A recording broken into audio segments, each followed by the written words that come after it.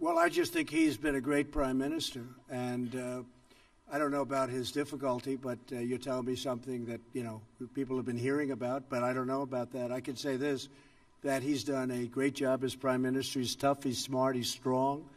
He is uh, very defensive. His military has uh, been built up a lot. They buy a lot of equipment from the United States, and they pay for it. Of course, we give them tremendous, as you know, subsidy also.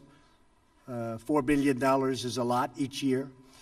Uh, but uh, they are, they've been very, very good. They've been incredible, actually, in many ways. But there is a chance for peace between Israel and the Palestinians. And, you know, it's interesting. All my life, I've heard that the toughest of all deals, when they talk about tough deals, we all like deals, but the toughest of all deals would be peace between Israel and the Palestinians. Uh, they say it's like the impossible deal. Uh, I'd love to be able to produce it. We'll see what happens. You know, we were paying the Palestinians a lot of money, and I ended that about two years ago because they weren't saying the right things. And I said, why would we pay somebody that's not saying nice things about us and not really wanting to go to the peace table.